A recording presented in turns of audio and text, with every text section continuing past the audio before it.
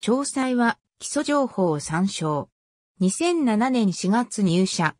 同期には須藤慎吾とコオロギ優子がいる。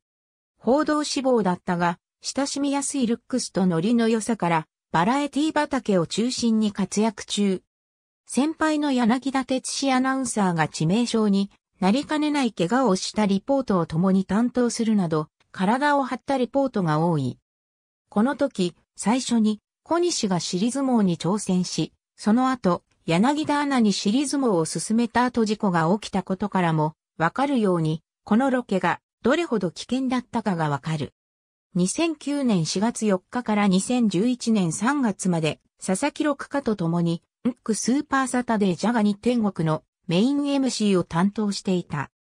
また、県政番組である宮崎元気 TV では、おきくちゃんという和服の役柄キャラクターで、宮崎県政の動きなどを聞くために、県庁職員を取材していた。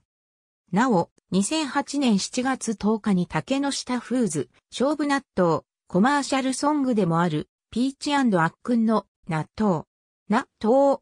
にコーラス参加し、メジャーデビューを果たした。2011年9月13日に放送された草薙剛の女子アナ2011フジテレビ愛は本当にあるのか？ガチ検証 SP の歌う、ま女子アナ対抗歌合戦に出演し、恋しさと切なさと心強さとを歌った。